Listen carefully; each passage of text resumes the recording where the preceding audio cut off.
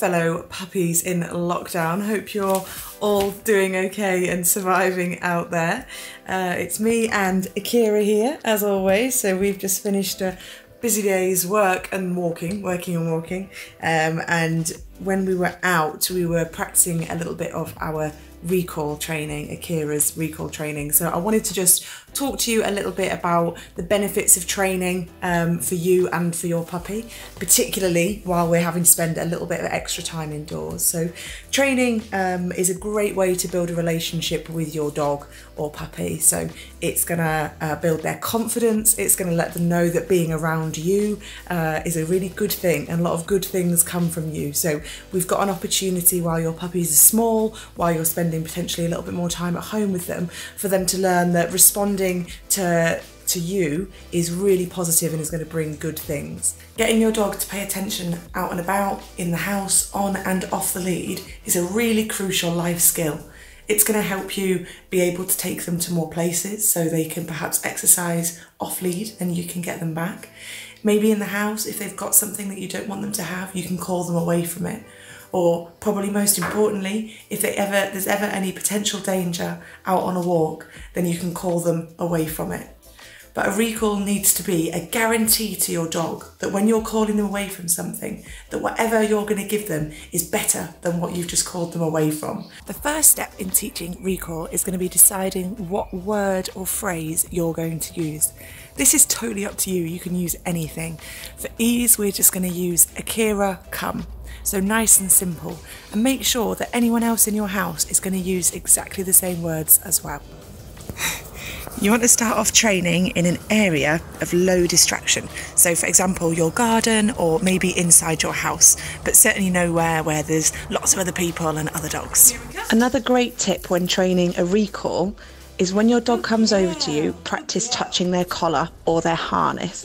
This is because if your dog eventually does go off the lead, when they come back, you'll need to actually be able to get close to them. So avoid them just sort of dancing around you a, a metre away.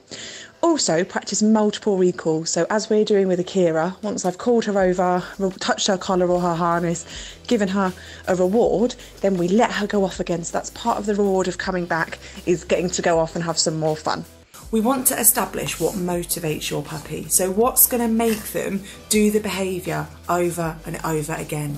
So, this is generally, yes, perhaps it's toys, uh, perhaps it's going to be food, maybe just a little bit of their puppy kibble, or maybe even some puppy safe treats. So, we want it to be something that's going to let them know that the behaviour they just did is really great, so much so that we want them to repeat it over and over again. That puppies get quite easily frustrated, so if we ask a lot of them or if we do training for quite a long time, it's not going to be any good for them and they might start mouthing or barking or just running off and playing because they're not quite sure what we want them to do.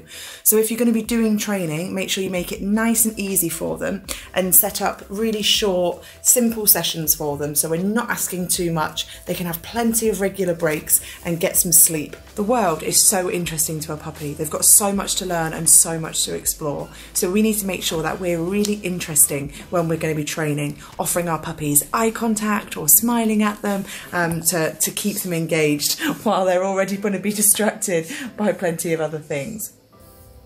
If your puppy is doing something that you don't want them to do, never ever tell them off. This can damage their relationship with you, so they think being around you leads to negative or scary things. So that's going to mean that they're less likely to come over to you or less likely to be able to do what you want them to do. And it can also damage their general confidence because they think that for doing their natural behaviours that scary things happen in the world. So they won't be that confident, outgoing dog that we're hoping to bring them up to be.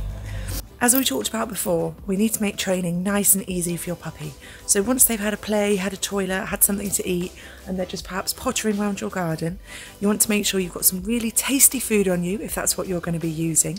Go up close to your puppy and use engaging, positive body language. So smile at them, make eye contact with them, use an excited voice, perhaps opening your arms and call them over um, using your chosen word and reward them when they do.